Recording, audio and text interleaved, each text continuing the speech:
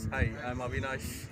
I've been staying here for at the Greenlands Youth Hostel uh, since two days.